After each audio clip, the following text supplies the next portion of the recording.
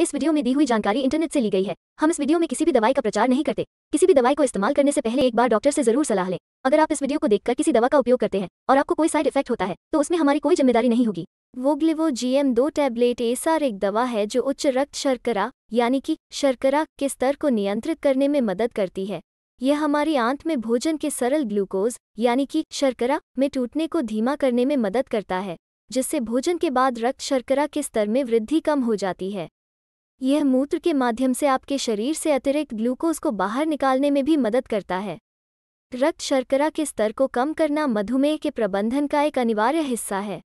यदि आप स्तर को नियंत्रित कर सकते हैं तो आप मधुमेह की गंभीर जटिलताओं जैसे कि गुर्दे की क्षति, आँखों की क्षति, तंत्रिका समस्याओं और अंगों के नुकसान के जोखिम को कम कर सकते हैं।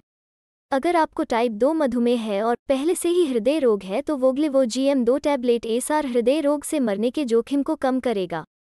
उचित आहार और व्यायाम के साथ इस दवा को नियमित रूप से लेने से आपको सामान्य, स्वस्थ जीवन जीने में मदद मिलेगी। आपको इसका उपयोग तब तक करते रहना चाहिए जब तक यह निर्धारित किया गया है, क्योंकि यह आपके भविष्य के स्वास्थ्य की रक्षा कर रहा है।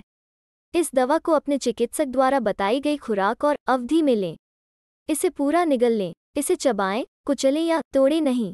वोग्लिबोज जीएम दो टैबलेट एसआर को खाली पेट लेना है। वोग्लिवो जीएम दो टैबलेट एसआर तीन एंटीडायबिटिक दवाओं का मिश्रण है। ग्लिमिपायराइट, मिटफॉर्मिन और वोग्लिबोज जब एकल या दोहरी चिकित्सा प्रभावी नहीं होती है तो वे रक्त शर्करा के बेहतर नियंत्रण प्रदान करने के लिए विभिन्न तंत्रों द्वारा काम करते हैं। ग्लिमिपायराइड एक सल्फनील्यूरिया है जो रक्त शर्करा को कम करने के लिए अग्न्याशय द्वारा जारी इंसुलिन की मात्रा को बढ़ाकर काम करता है।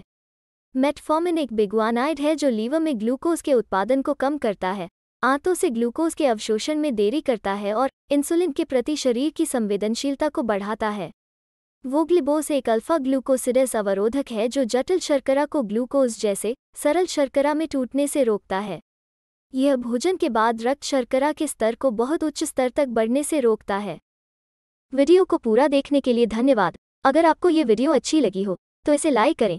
अगर आपने अभी तक हमारे चैनल को सब्सक्राइब नहीं किया है तो चैनल को सब्सक्राइब करके नोटिफिकेशन बेल को टर्न ऑन ऑल नोटिफिकेशन पर सेट करें। धन्यवाद।